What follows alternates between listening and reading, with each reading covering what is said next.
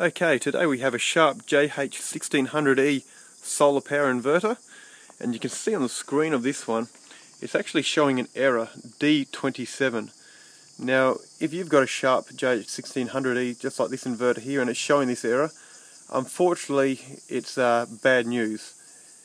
It's uh, the D27 error according to Sharp is caused by excessive voltage transients on the output or input of the solar inverter and it's highly likely that's been caused by a, a, power surge. It could be something like a lightning strike in the local area, which is uh, which has blown up some uh, components inside and um, and has now made the in inverter show this D27 error.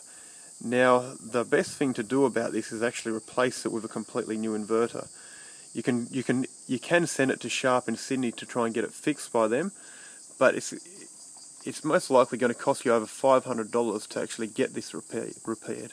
So, in my opinion, that doesn't really make a lot of sense when you can get a brand new inverter with full new warranty for uh, not too much more.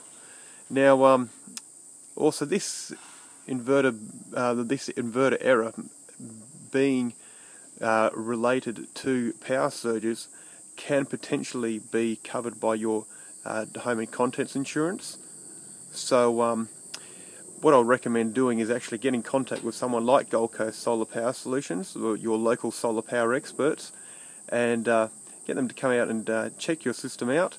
And if they find it is caused by lightning or a power surge, then we can uh, we can put something together for you for an insurance company and try and get it covered by your home and contents insurance. And then we can uh, replace it with a, uh, a similar size inverter I recommend the SMA Sunny Boy SB1600TL as a perfect replacement for the Sharp JH1600E inverter if you have a D27 error. So thanks for your time and uh, if you are having this error I'm, I'm uh, sorry to hear about that and uh, but if you'd like to uh, get in contact with us if you're in the Gold Coast or Southeast Queensland area we'd be certainly happy to help you and get your system operational again as soon as possible. Thanks very much for your time.